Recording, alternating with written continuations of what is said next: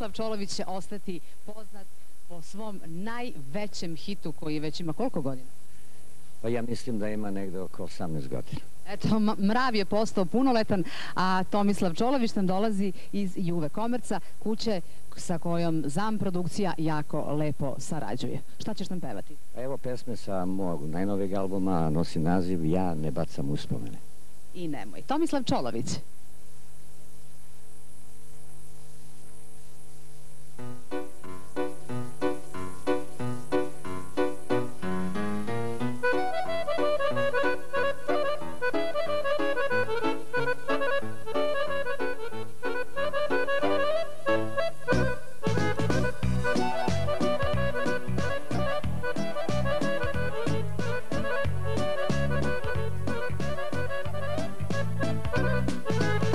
Još me prati jedno lice Lepo kao s razglednice. Još uzbudi srce moje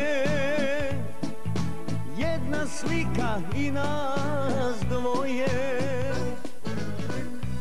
sam joj baci slike, pravit će ti neprilike, ali još pamtim reči njene, ja ne bacam uspomene.